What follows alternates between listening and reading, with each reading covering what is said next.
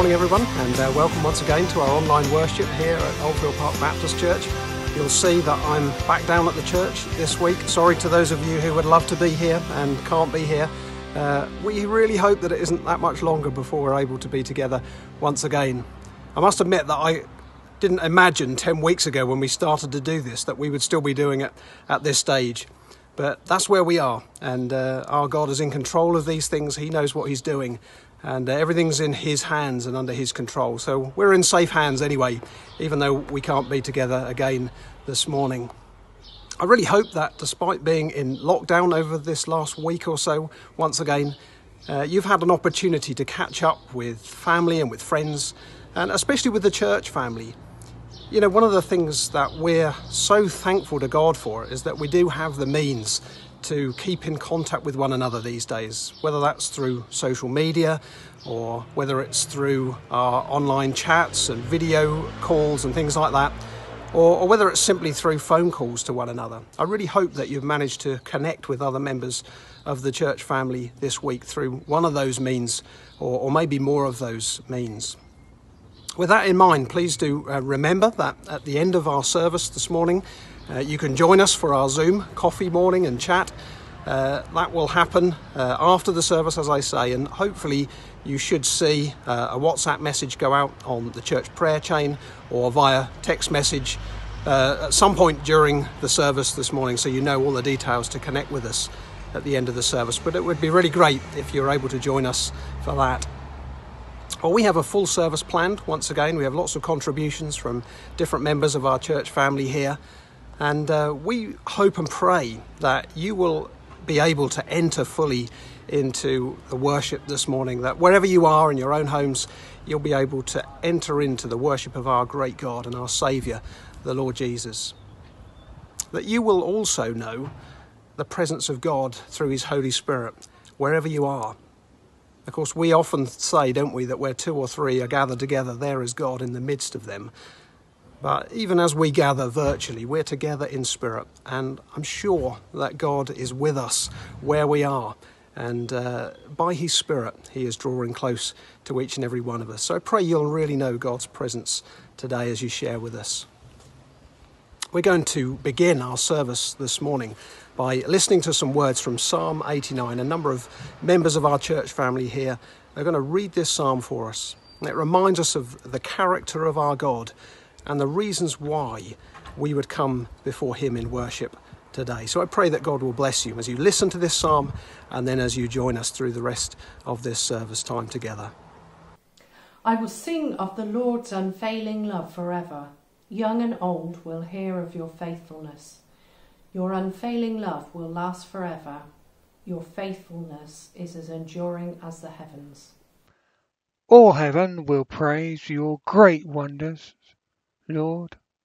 Myriads of angels will praise you for your faithfulness. For who in all of heaven can compare with the Lord? The highest angelic powers stand in awe of God. He is far more awesome than all who surround his throne. O Lord God of heaven's armies, where is there anyone as mighty as you? You are entirely faithful. You rule the oceans. You subdue the, their storms tossed waves. yours, and the earth is yours. Everything in the world is yours. You created it all. You created the north and the south. The mountains praise your name. Powerful is your arm, strong is your hand. Righteousness and justice are the foundations of your throne. Unfailing love and truth walk before you as attendants. Happy are those who hear the joyful call to worship, for they will walk in the light of your presence, Lord. They rejoice all day long in your wonderful reputation. They exult in your righteousness. You are their glorious strength. Their protection comes from you. Praise the Lord forever. Amen and amen.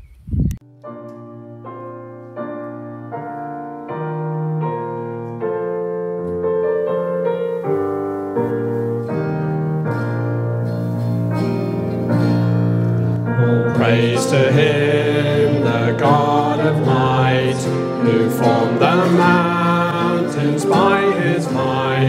All praise to him who named the stars that sing his famous skies afar. All praise to him who reigns in love, who guides the galaxies above, yet bends to hear our every prayer with sovereign power and tender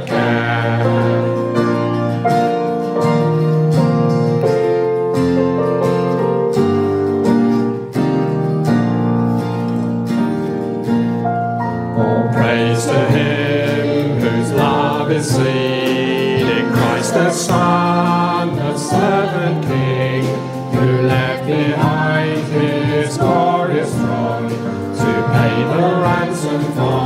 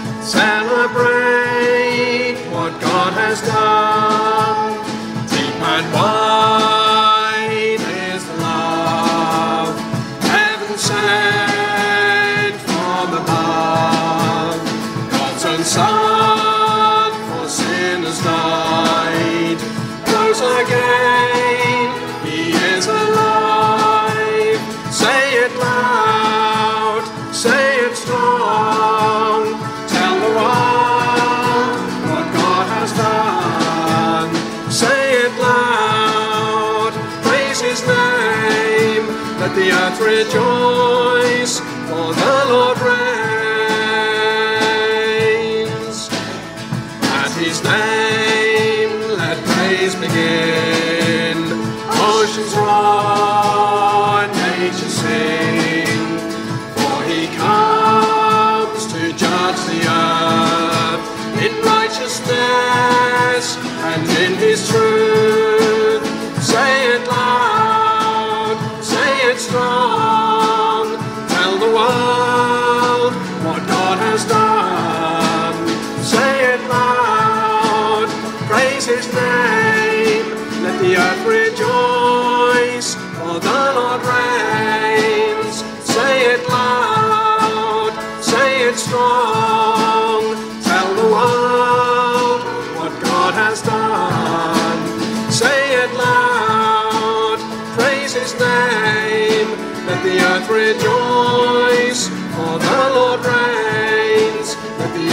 rejoice, for the Lord reigns.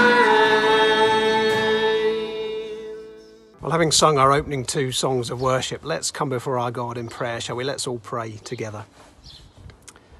Father God, wherever we are this morning, whether we're at home on our own or whether we're at home as couples or whether we're at home as families, Lord, it's our goal and it's our aim to come before you in worship as one people united by your Spirit through a common faith in the Lord Jesus Christ, united by that brotherly and that sisterly fellowship and partnership that we share with one another because we are sons and daughters of you, the living God. Lord, whatever our background is, whatever our nation of origin is, whatever our status in life is, whatever the circumstances of our life looks like right now, our goal and our aim is to lift you up in our worship, to lift our hearts and our voices together in praise of you, because you are Lord of all. Lord, we come to bring our worship to you, the Creator God, the God who created light and formed mountains and flung stars into space and named them. The God who fashioned our bodies and put breath in our lungs and food on our tables and clothes on our backs. The God who gives us eyes to see uh, and ears to hear and, and a mouth to taste and to speak and all of the faculties that we have to enjoy the wonder of the world that you've made and the people around us that are made in your likeness and image. Lord, we come to bring our worship to you, Creator God. Lord, we come to bring our worship to you, the Saviour God. Lord, you are the God who sees and knows every intricate detail of our lives. And Lord, you know and see those hidden things of our lives. You know the faults in our lives. You know the failings in our lives. And yet, Lord, in spite of knowing those things, we thank you that you don't come to us in a spirit of condemnation, but you come to us offering salvation. Lord, you are the God who comes to us to offer us forgiveness and acceptance. The God who came to us in the person of your Son, the Lord Jesus Christ, who lived that perfect human life we've not lived, who died the death that we deserved to die in our place, who rose again to conquer the grave so that through faith in him our sin might be forgiven, your perfect life might be credited to us, and we might have a f- future secured with you beyond the grave. Lord, we come to bring our worship to you, the Saviour God. But Lord, we also come to worship you as the intimate God, the God who comes personally to us by your Holy Spirit to reside in the hearts of all of us who live by faith in the Lord Jesus Christ. Lord, you are the God who comes by your Holy Spirit to shape us into the likeness of Jesus, to comfort us when life is tough, to guide us when life is confusing, to bring us safe through this life into a bright and glorious eternal future with you, beyond this world and beyond the grave.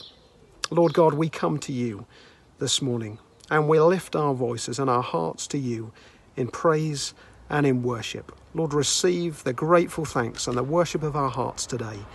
In Jesus' name, Amen.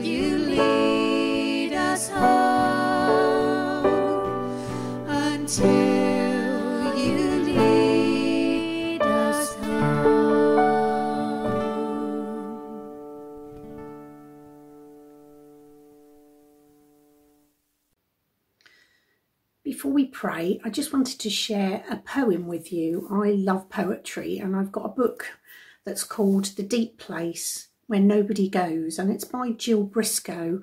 And this is a poem that's come back to me over the last few weeks while we've been in lockdown.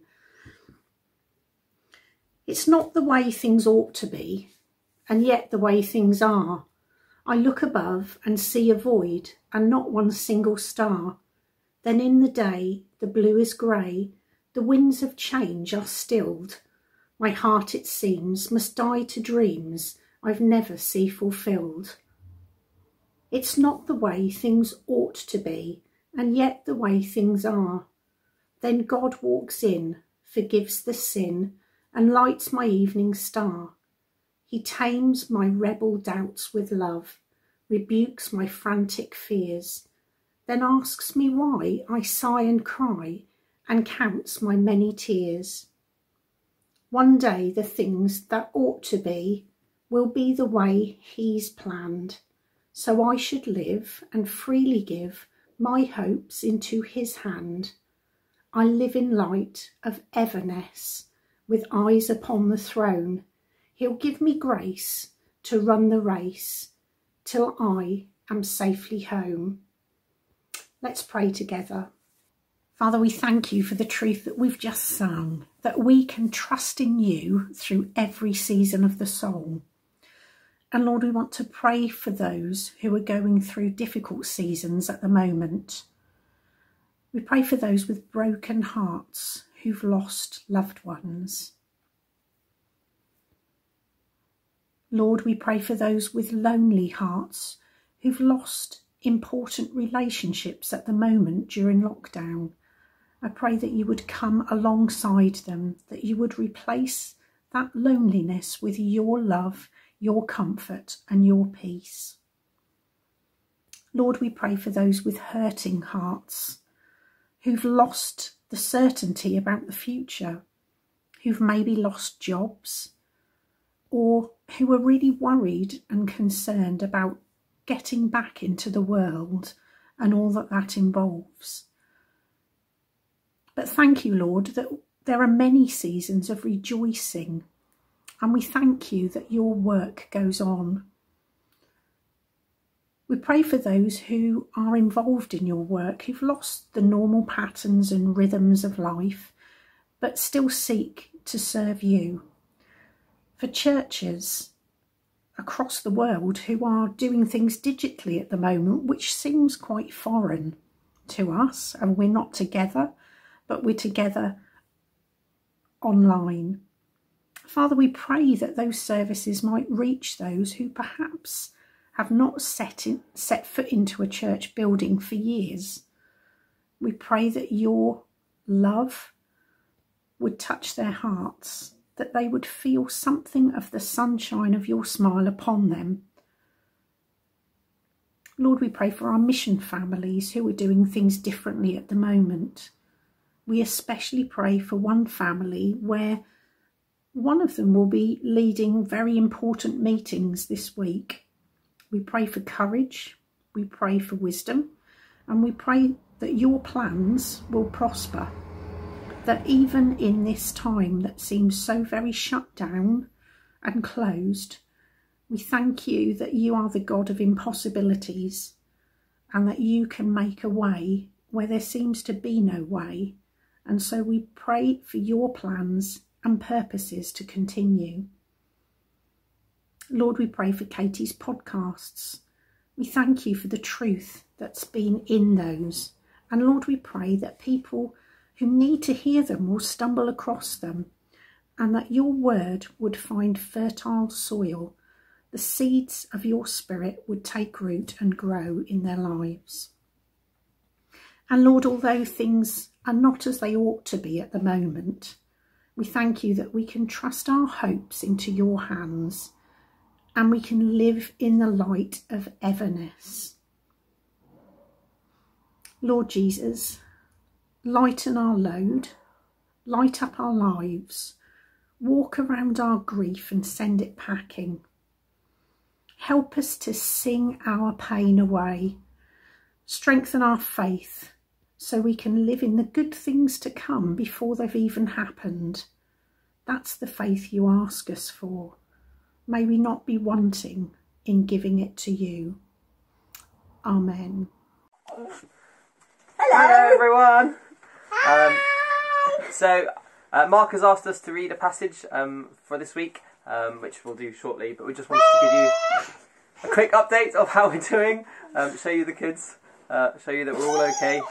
Um, so, obviously, we, um, we've been here six months now, over in Norfolk, and then COVID happened. I've been furloughed now since the beginning of lockdown. Um, so work's been quite different for me over the last few weeks.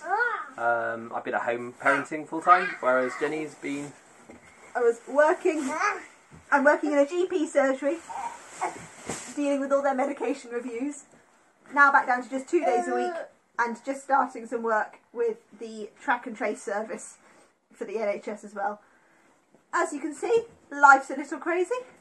The Yeah. children are growing fast and keeping us on our toes. And we thought we'd do this setup, by the way. We thought maybe outdoors in the nice sunshine. Um, but then we thought actually we've got a captive um, target here if we keep them inside the cot. They normally are allowed to ro- roam around the house. That is something we're allowed them to do sometimes. But, uh, we are enjoying spending time together as a family, Yeah. but looking forward to grandparents being able to look after them too. Very much so. Um, so do please pray for my work situation, um, Jenny's work situation, and that it keeps going well, uh, and for these two as well as they adapt to and grow up and, and all those sorts of things. Um, We hope you're all well yes. and enjoying life and the sunshine. Bye bye. And the reading today is Psalm 51. Have mercy on me, O God, according to your unfailing love, according to your great compassion, blot out my transgressions. Wash away all my iniquity and cleanse me from my sin. For I know my transgressions, and my sin is always before me.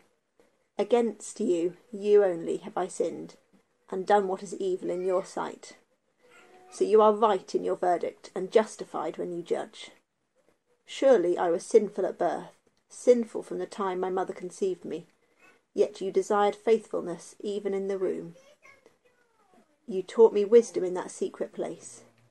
Cleanse me with hyssop, and I will be clean. Wash me, and I will be whiter than snow. Let me hear joy and gladness. Let the bones you have crushed, cru- crushed rejoice. Hide your face from my sins, and block out all my iniquity. Create in me a pure heart, O God, and renew a steadfast spirit within me. Do not cast me from your presence, or take your Holy Spirit from me. Restore to me the joy of your salvation, and grant me a willing spirit to sustain me. Then I will teach transgressors to your ways, so that sinners will turn back to you. Deliver me from the guilt of bloodshed, O God, you who are God my Saviour, and my tongue will sing your righteousness. Open my lips, Lord, and my mouth will declare your praise. You do not delight in sacrifice, or I will bring it. You do not take pleasure in burnt offerings. My sacrifice, O God, is a broken spirit. A broken and contrite heart, you, God, will not despise. May it please you to prosper Zion, to build up the walls of Jerusalem. Then you will delight in the sacrifices of the righteous, in burnt offerings offered whole. Then bulls will be offered on your altar.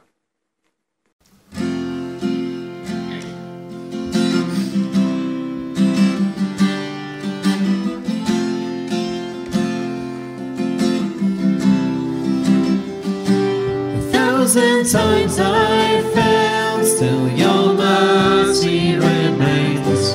Should I stumble again, still I'm caught in your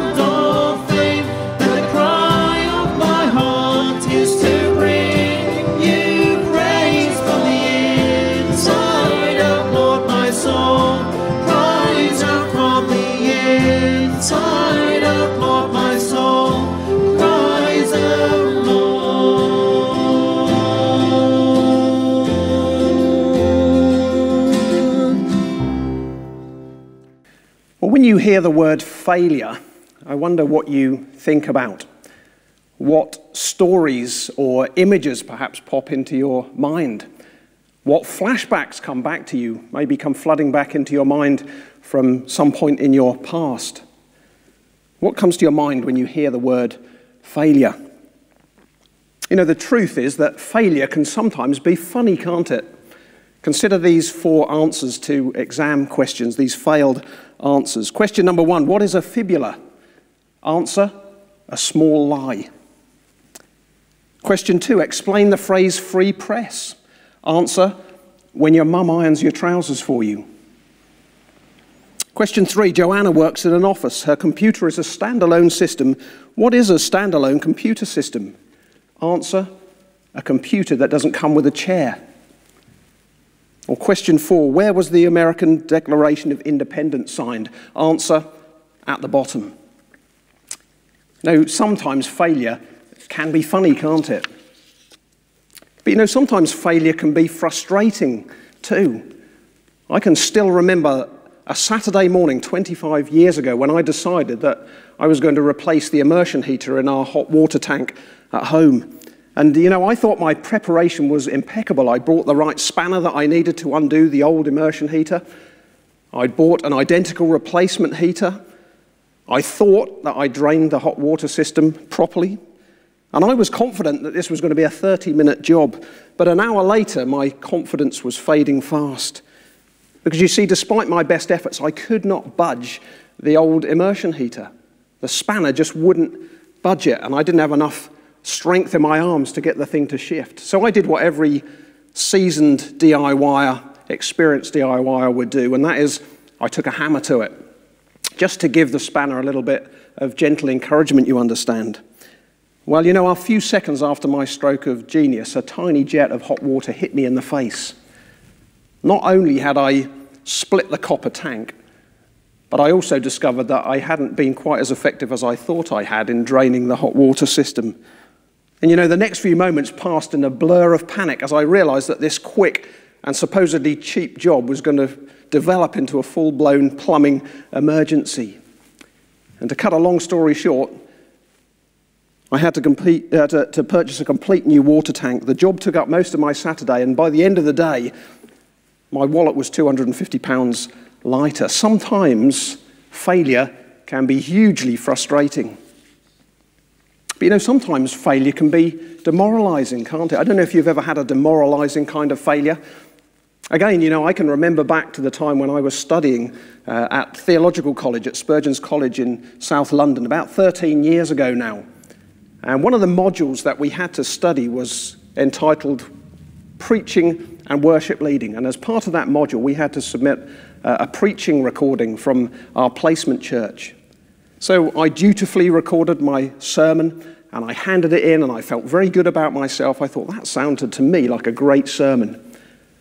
Well, a week later, the feedback paper was in my pigeonhole and let's just say that there was a lot of constructive criticism on it. And there was one particular line that has remained with me ever since, which is this After listening to your sermon, I was left for a long time wondering what the point of it was.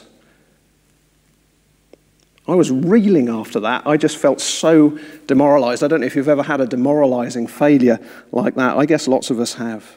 So, failure can be funny. Failure can be frustrating, but failure can be demoralizing as well. But you know, there's one more thing that we can say about failure, something that takes failure to a whole new level, and that is that failure can sometimes be fatal. I still remember the day in 1987 when the cross channel ferry, the Herald of Free Enterprise, capsized just four minutes after it left the safety of the harbour at Zeebrugge in Belgium. In just 90 seconds, beyond the harbour wall. From the moment that that cross channel ferry began to list in heavy seas, it completely capsized. And by the time rescue teams managed to reach the stricken vessel, 193 people had lost their lives. What was the cause of that capsize? Well, it was failure. Failure on the part of the ship's crew to close the bow doors. allowing water to flood into the open hull and flip the ship over. So failure can be fatal. Well, this morning we're going to come to a story in the Bible that has that same kind of trademark to it. It is a failure that ended up having fatal consequences. And it's a story of a, a very well known man in the Bible, a man who, by all accounts, was a hero of the Bible. His name and, and his fame and his godly character are legendary throughout the Bible, and they're mentioned even long after this man died. He's even known as a man after God's own heart. But there was one inglorious moment in his life when he failed big time. That's not to say that there weren't other moments of failure in his life. He was a human being like the rest of us, and he failed in many ways. But there was this one moment of really catastrophic failure in his life. The man I'm talking about is a man called David, who was king of Israel 3,000 years ago. And the moment of failure I'm talking about was recorded for us in 2 Samuel chapter 11 and 12. Or rather than read the entire story to you, uh, let me summarize it. You know, in actual fact, it wasn't just one failure, it was a whole catalogue of failures. There were five steps in David's failure. And the first step in his failure, the first moment of failure, was the fact that he abdicated his leadership responsibility. If you were to read verse 1 of 2 Samuel 11, you would discover that it was commonplace at the time of David for kings to go off to war in the springtime. Now, that sounds like a very strange idea to us the idea that there is a moment in the year uh, when one nation would go to war against another nation or to other nations. But we don't want to get hung up on that, but that's what happened at the time of David. Kings would go off to war in the springtime. Well, the first noteworthy thing that we're told in 2 Samuel 11 is that during one particular springtime, King David stayed home in his palace in Jerusalem while he sent his war machine off to do battle against other nations. You know, in David's day, it was the responsibility of a king to lead his army in battle. But David opts to stay back in Jerusalem to live on Easy Street while all of his men, his soldiers, go off to war. It was an abdication of his responsibilities, and it was the first step in a catalogue of failures that we'll find out as we go through. You see, next up, David fails by becoming absorbed by sexual desire. So he should have been out on the battlefield. He should have been with his men. He should have been camped out in the fields, heading up his army. But no, he was at home, lazing around, feet up, twiddling his thumbs, idly doing nothing, with too much time on his hands. And one night he can't drop off to sleep, which is not unusual if you think he's been lazing around for perhaps days or weeks. He can't get to sleep. And because he can't get to sleep, he gets up and he begins to wander around on the roof terrace of his palace. And from the roof terrace of his palace, he has a commanding view of the city down below. And what should he spot as he wanders around on the roof terrace but a beautiful woman bathing? You know, you would think, wouldn't you, that a man like David, a, a married man, which he was at this point, a man who is known for pursuing God's own heart, you would think that a man like that would think to himself, I need to avert my gaze and I need to walk on. But David doesn't do that. He has a first glance, and then he has a second glance, and then he has a third glance, and before you know it, he's absolutely hooked. He can't take his eyes off this beautiful woman. And you know, before long, he's imagining all sorts of things that he ought not to be imagining. His heart is gripped, and so begins a, a downward spiral into inappropriate sexual desire. And you know, it doesn't even stop when he discovers that this woman, Bathsheba, is a married woman. That should have been the alarm call that David needed, shouldn't it? This man, this, this woman is a married woman. She's married to another man. And what's more, you would think that David at that point would think, hang on, what am I doing here? I'm a married man. This is inappropriate. This is wrong. I've made vows of faithfulness to my wife before God. This needs to stop in its tracks. But David doesn't heed the alarm call. In fact, he puts his fingers at his ears and he shuts the alarm call out and he gives in to his sexual desires. He sends somebody to get this woman, Bathsheba. She comes back into the palace and he sleeps with her. And he commits sin with her. His failure is obvious. But you know, it doesn't stop there. You see, next up, David fails by attempting to deceive Uriah. So time marches on from this one night stand that David has with Bathsheba. And David presumably thinks he's got away with what he's done. But then he gets word that things have become a little bit more complicated than he anticipated. He discovers that Bathsheba is pregnant. Now, what's David going to do? Well, David hatches a plan, and his plan is to call her husband Uriah, who was a soldier in his army, back to Jerusalem. And his plan is that he will encourage Uriah to go home to his wife, to spend time with his wife, to sleep with his wife again, and that she will get pregnant by Uriah, or at least he will be able to pass off the pregnancy of Bathsheba onto Uriah. And Uriah will, in the future, think that this child is his child. But you know, Uriah is a more honorable man than David has reckoned with. When he returns to Jerusalem, he refuses to go home to sleep with his wife. He says, How can I do this when all of my fellow soldiers are living out in the field? They're roughing it, they're in battle. How can I go home and spend time with my wife? Imagine how that must have cut at David's heart that this man Uriah was a more honorable man than he was. So his plan is not going to work. But you know, David doesn't leave it there. He doesn't come clean at that point. He doesn't admit his failure at that point. No, what he does is he hatches another plan. And this next plan sees David slump to an all time low. You see, David fails by arranging the death of Uriah.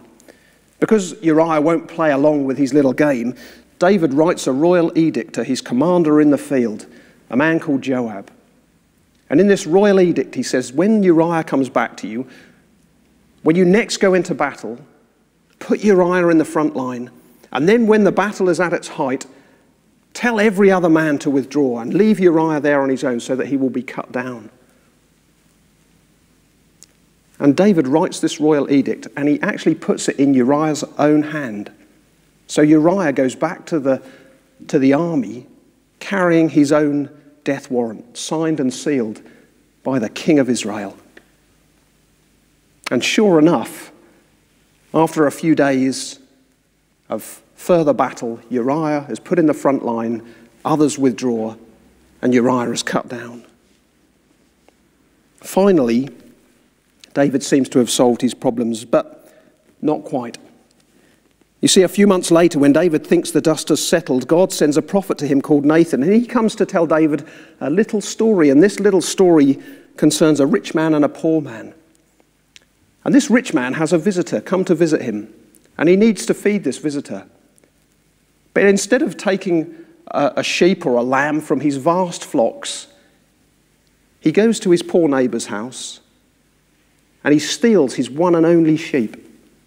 And he takes that one and only sheep home and he slaughters it and he uses it to feed his guest.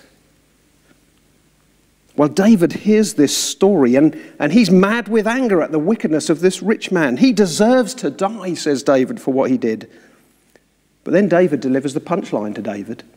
And the punchline is this David, you are the man. You, the rich and mighty king, you, the ruler of Israel, you, the one who has vast wealth, you, the one who is married, you, the one who lives in this royal palace, you stole and took another man's wife, his only wife. And then you sent him off into the field and had him slaughtered. You know, this final stage in David's failure, catalogue of failures, shows us that he has failed by accommodating his own wickedness. Somehow, David had managed to overlook all of his failures. He'd managed to tell himself a fairy story that let him off the hook for all the wrong things that he'd done until eventually Nathan comes along and shines the spotlight on his failure and on the truth. You know, if, if you could measure failure on a Richter scale, well, David's failure would register nine. It would register at the max. The first ground tremors would have been felt when David abdicated his leadership responsibility. But then the full earthquake of his moral failure struck when he committed sexual sin with Bathsheba. And then when he tried to deceive her husband. And then when he sent her husband back to the battlefield to be slaughtered. But even then, there is this powerful aftershock as Nathan comes and delivers this cutting blow to David. You are this wicked man in my story. What a seismic moment of failure it was for David. well, you know, I'm sure that we all hear a story like that and we recoil in horror at what David did. And so we should. It was a truly despicable series of moral failures. And as David says, not realizing that he's talking about himself, it was a failure that deserved to be punished by death. David deserved to die for what he'd done. And we look at that story and we think, that was a horrific story. But you know, as we look at David's failure, there's a sense in which we all have to hold the mirror up to our own lives. You see, although we may not have literally done the kind of things that David did, nevertheless, we're all just as guilty of moral failure as David was. Just think for a minute again about David's catalogue of failures. Firstly, he abdicated his God given responsibility. Well, you know, I put it to you, as I put it to myself, that we all have a God given responsibility. And that God given responsibility is something that Jesus tells us we should all be doing, and that is we should be loving God with all our heart, with all our soul, with all our mind, and with all our strength. Well, I put it to you that you haven't fulfilled that responsibility to God. You have abdicated that responsibility. Secondly, David was absorbed by sexual desire. Well, for him, that involved literal adultery. But you know, Jesus said one time that that's not the only way you can engage in inappropriate sexual desire. You see, Jesus said one time in Matthew 5, verse 28 whoever looks at a woman lustfully, or a man for that matter, whoever looks at a member of the opposite sex lustfully has committed adultery with them in their heart. I put it to you that most of us have done that at some point in our lives. Thirdly, David tried to deceive Uriah. Well, have you ever deceived anyone? Have you ever lied to anyone? Have you ever tried to pull the wool over anybody else's eyes? Have you ever dreamt up some scheme to try and get yourself off the hook for something wrong that you've done? I bet you have. I have. Fourthly, David arranged the death of Uriah. Now, at this point, you might say, well, you may be able to pin those first three things on me, but you couldn't pin this on me. I have never killed anybody. But then hang on a minute.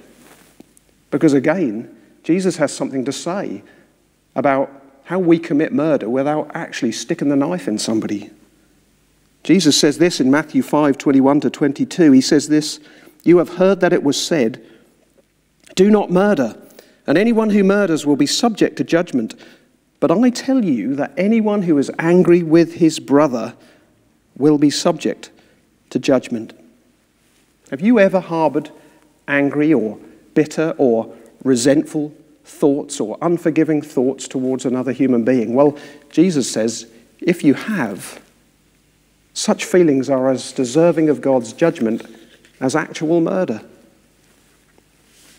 And then, fifthly, David accommodated his own wickedness. I wonder if you've ever done that. Have you ever accommodated your own wickedness? You ever looked with judgment and criticism on other people for their failures, whilst you overlook your own moral failings? Whilst you convince yourself that you're essentially a good person in comparison to others? Have you ever, have you ever accommodated your own wickedness? I bet you have. You know, I put it to you, as I put it to myself, that the only real difference between what David did and what we do as moral failures is a matter of scale, but not substance. We may not have done things on the same scale that David did them, but the substance is there for every single one of us. We're all moral failures. We must be honest, we must say, mustn't we, that our hearts are as morally compromised as David's heart.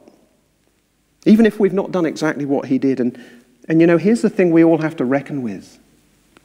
Just as David's diagnosis on his own sin, even though he didn't realize that's what it was, was that he, he deserved to die, so we all need to hear God's diagnosis upon our moral failure. And God's diagnosis is this sinners of all shades deserve to die. Romans 6, verse 23 says this the wages of sin is death. So if you have sinned, you deserve to die. And you know, Paul there, when he wrote that, Romans 6, verse 23, wasn't just talking about physical death. Yes, physical death is a consequence of sin, but he was saying that if a person persists in their sin, they deserve eternal death, eternal separation from God. They deserve to go to hell for the sin that they've committed, their moral failings. Well, you know, I want to ask a question this morning. Do you think there's any hope for moral failures? Is there any hope for the Davids of this world? Is there any hope for you? Is there any hope for me who are failed sinners who've made many mistakes? Well, you know, the answer that the Bible gives is an amazing answer. It says, yes, there is a hope. You know, the very fact that David is still remembered today, that he's still celebrated, that he's still remembered as a, a, man of God, suggests that this moment of failure in his life wasn't the end of the road for him. It wasn't the end of his story. There is hope for failed sinners. You know, just now our government are talking a lot, aren't they, about how to provide a roadmap out of the coronavirus lockdown. How can we get back to some kind of normality, some kind of freedom? Well, you know, the Bible gives us a roadmap of hope out of the lockdown of judgment from God that we deserve because of our moral failures. And that roadmap of hope is found in a prayer that David prayed after the prophet Nathan confronted him about his failure. It's in Psalm 51. We heard it read a little earlier in our service. And for the remaining time in our service, we're going to just focus on some of the things that David says in Psalm 51 as he prays to God in response to his failure. Because David gives us five stages, five steps out of the lockdown of judgment from God for our failures. Here's the first thing you notice in Psalm 51, and it's this if you want to find your route out of failure, you need to own your failure. You know, after the prophet Nathan shines the spotlight on David's sordid behavior, David cries out to God with these words in Psalm 51, verse 3. He says, For I know my transgressions, and my sin is always before me. Against you, you only have I sinned. And then verse 5 Surely I was sinful at birth, sinful from the time my mother conceived me. What are the key words in those two verses, verse 3, verse 5?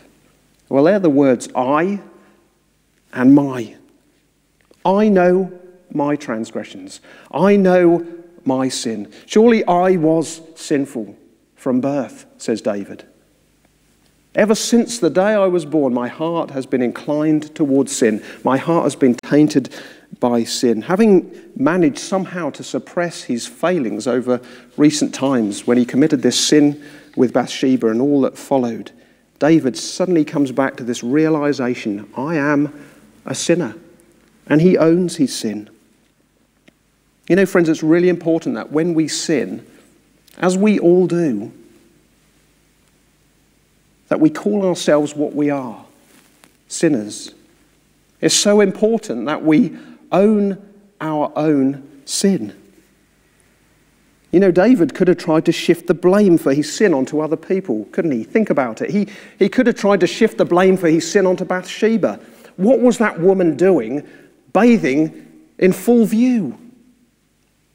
She was flaunting herself.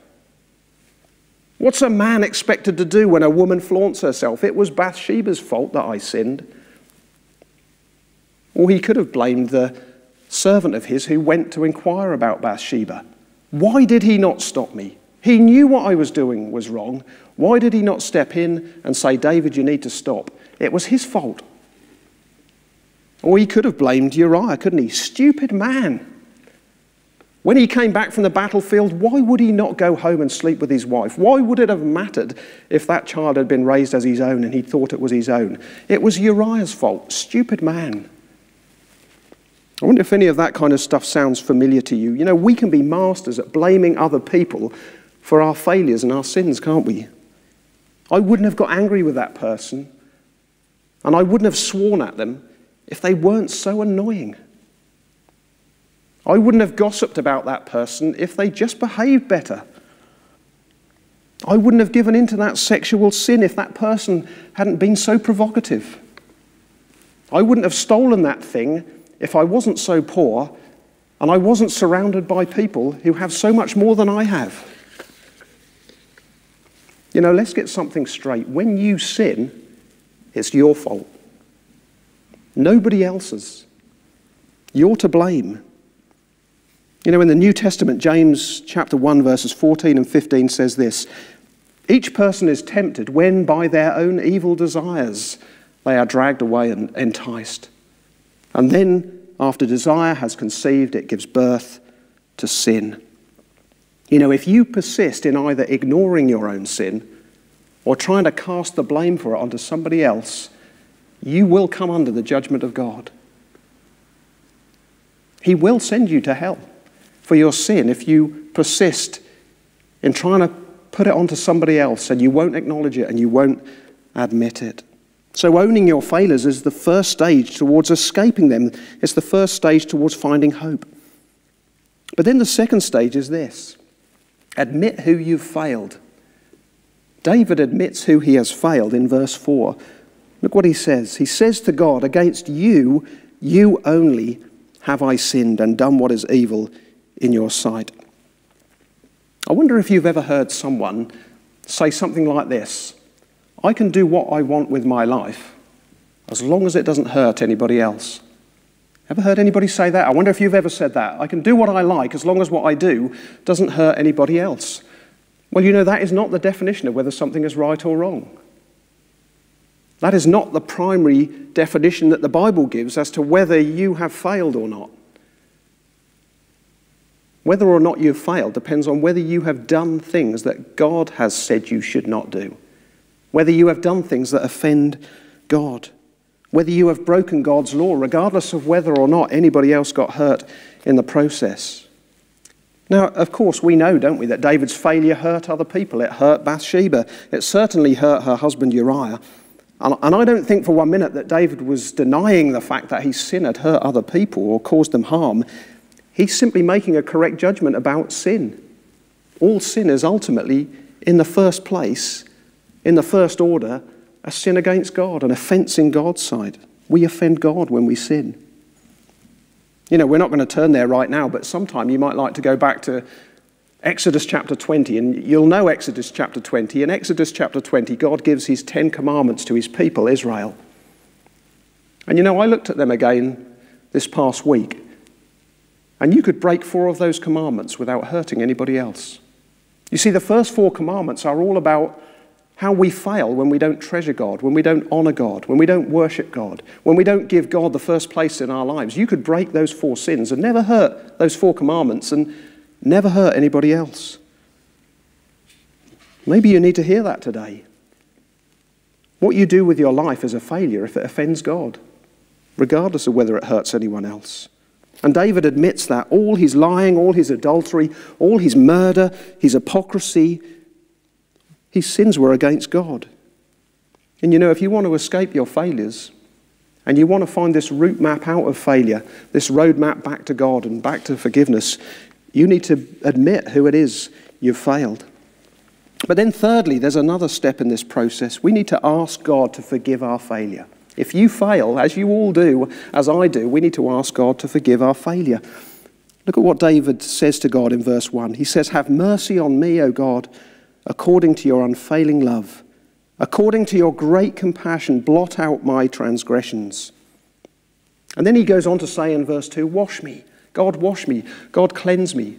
He says a similar thing in verse 7 Erase my sin, scrub it away, wash it down the plug hole and into the sewer where it belongs, God. Please clean me up.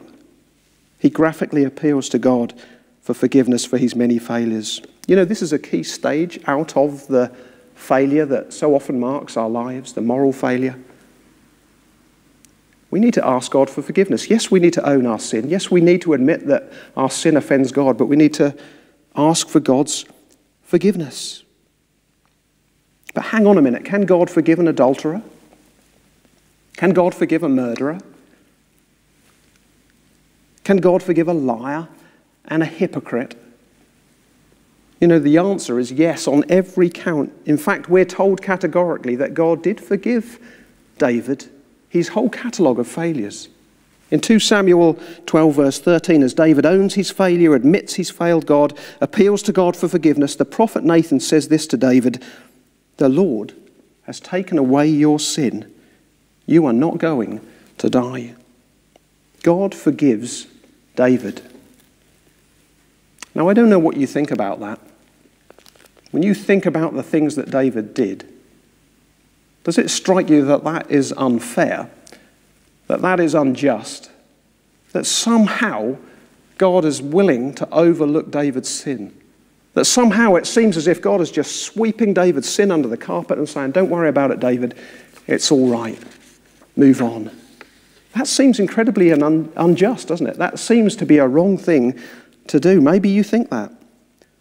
Well, you know, I'd have to agree with you. That would be an outrageous thing to do, except for one thing, which is this God never overlooks the sin of anyone who appeals to him for forgiveness. He never brushes under the carpet the sin of anyone who comes to him and says, God, will you forgive me? But listen to what the Apostle Paul wrote hundreds of years after David's failure.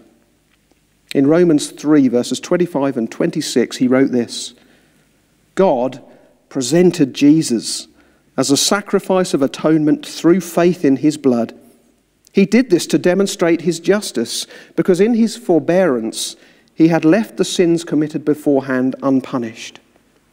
He did this to demonstrate his justice at the present time, so as to be just and the one who justifies those who have faith in Jesus. You know, what Paul is saying there is that far from brushing the sin of a person who seeks his forgiveness under the carpet, Jesus, God punishes it. And God punishes it in his Son, Jesus. That perfect man, that perfect human being, that God man. Instead of punishing the sinner, God punishes the sin in his perfect Son, Jesus Christ.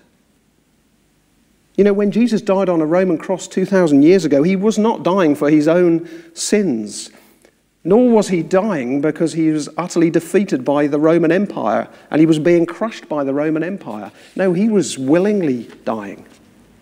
He offers himself up, and he offers himself up as a sacrifice for sinners. He offers himself up and says, Look, I'm going to put myself in the place of sinners and absorb the punishment and the, uh, and, and the guilt and the shame and the horror for all of your sin. When Jesus died, he was taking the death penalty for the murderers of this world, the deceivers of this world, the adulterers of this world, the liars of this world, the hypocrites of this world, the thieves of this world, the gossips of this world, the drunks of this world, the sex addicts of this world, the drug addicts of this world, the tyrants of this world, who turn to God and say, God, I realize I carry all this weight of sin. Please forgive me. Jesus gave his life for every shade of failed sinner. That includes you, and it includes me. I hope you understand this. Whatever moral failures can be laid at your door, God stands ready to forgive you if you ask Him, all because of Jesus, who stood in the firing line of God's judgment in your place. David sought God's forgiveness, and God, for, and God gave it. Only because years later Jesus would suffer and die and take the blame for David's sin. Well, you know, the route out of failure doesn't end quite there. There are two more stages in the route out of failure, very briefly. Stage four out of moral failure is this ask God's help to fight future failure. Look what David says in Psalm 51, verse 10. He says this Create in me a pure heart, O God, and renew a steadfast spirit within me. You know, for David, it wasn't enough that his past sin was forgiven. David wanted to learn from his moral failures, and he wanted to be different in future. You know, if we're genuinely sorry for our moral failures and our sins, we don't want to live in them anymore. If we know that Jesus took the punishment for them, we don't want to delight in them anymore. We don't want to be overcome by our failures, do we? We want to walk in freedom from our failures. We want to do battle against our failures. God's forgiveness should never be taken for granted. It should never be treated as a license to go and sin again with impunity. You know, that would be like getting caught by the police for speeding, wouldn't it? And as you are at the roadside there and the officer's standing outside, you appeal to the officer for leniency. Forgive me, I, did, I didn't realise I was going so fast, or maybe I did realise uh, it's a fair cop, but please, would you grant me leniency? And the officer says, says Yes, sir, I'll grant you leniency.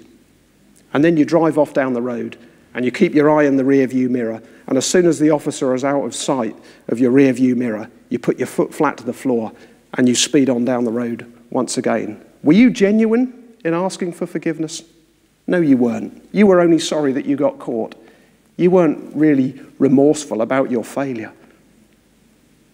You know, true honesty before God demands that we don't want to live in our failure anymore because we realize how it offends God. You know, that's not how David treats God. He's horrified by his sin when the spotlight gets shone on it. He hates what he's done and he doesn't want to repeat it, so he appeals to God for help to fight future failure. Create in me a pure heart, O God, he says. Do you think David ever failed again? I'm absolutely sure he did.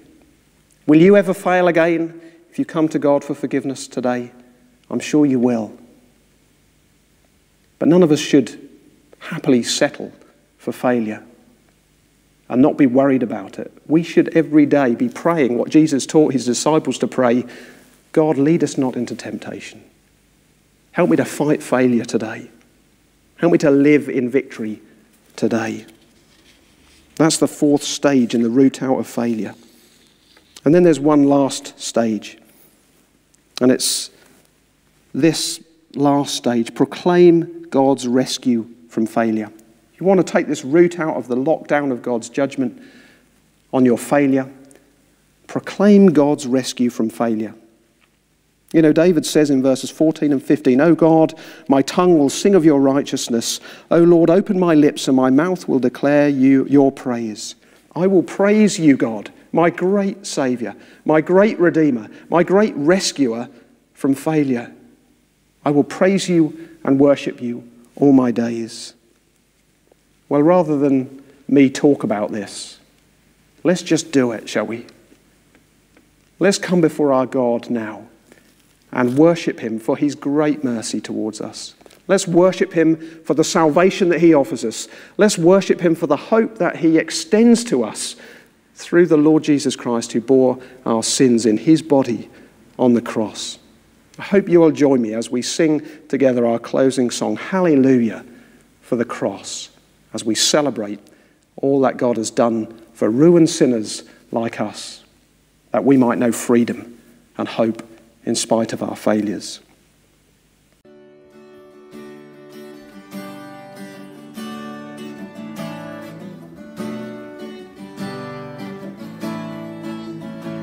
What love could remember no wrongs we have done? Omniscient, all-knowing, he counts not their sum. Thrown into a sea without bottom or shore. Mercy is more. Praise the Lord, his mercy is more.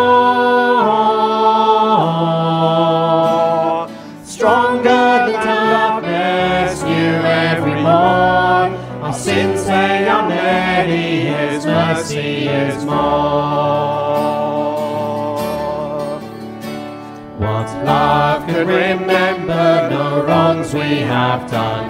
Omniscient, all-knowing, he counts not their song. Thrown into a sea without bottom or shore. Our sins, they are many, his mercy is more. Praise the Lord, his mercy is more.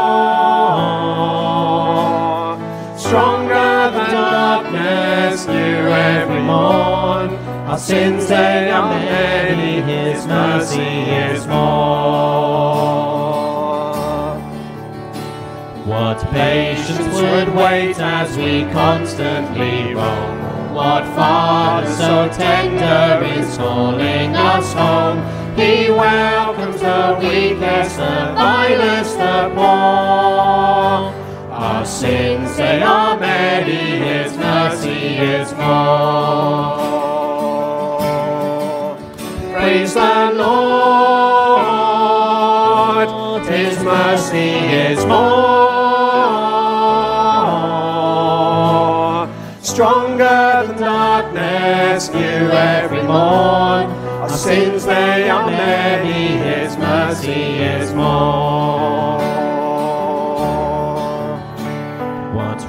Riches of kindness He lavished on us. His blood was a payment, His life was a cost. We stood neath a debt we could never afford. Our sins, they are many, His mercy is more. Praise the Lord, His mercy is more.